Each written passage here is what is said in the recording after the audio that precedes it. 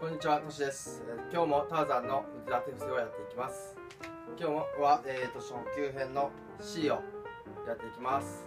では始める前にストレッチポールやストレッチで体のバランスを整えてから始めていきましょう。それでは始めます。では、えー、と最初はナロープッシュアップオン2をやっていきます。それではやってみましょう。えー、と膝をついて腕立て伏せの体勢をとってちょうど肩幅ぐらいにの幅で手をついてこう降りた時に胸あ体と腕が擦れるぐらいの幅でいきます。それでは10回いきます。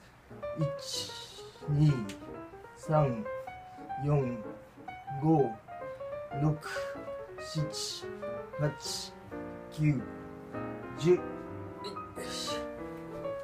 これは主に腕の伸ばすところに効いていきます。では次に行きます。次はフォワードスライドっていうのをいきます。これは腕を滑らせるのでタオルやこういったスライドディスクを使ってやります。僕はちょっとこのディスクを使ってやってみます。それでは、えー、四つんばい四つん這いの体勢になってでは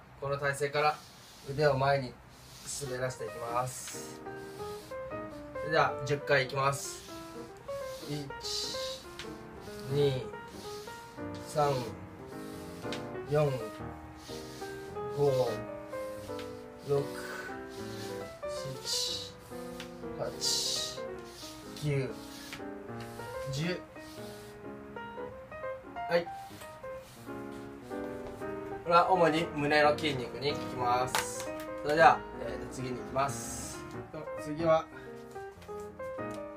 次はチェアラテラルレイズ。いきます。これは椅子を使います。でやってみましょう。椅子の背もたれに手を置いて少し離れます。で、えーここから椅子の背もたれの方によって体がまっすぐになるように寄せていくことで肩周りを鍛えるトレーニングです。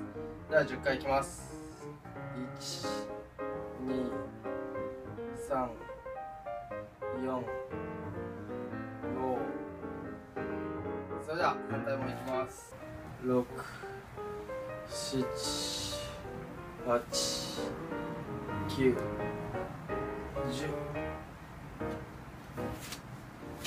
はい、では次に行きます。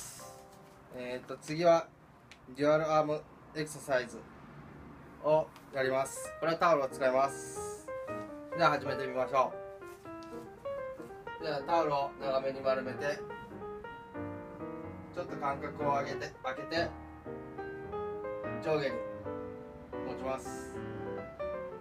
で、えっ、と、曲げる方、伸ばす方を交互に力を入れながらいきます。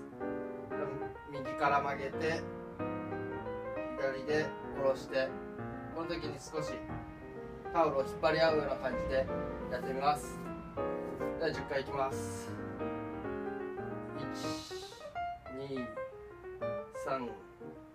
12345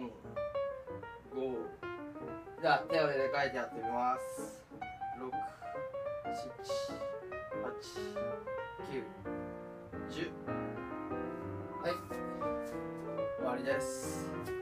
では今日でえっ、と初級編がパターン C まで終わって、えー次からは中級編をやっていこうと思います。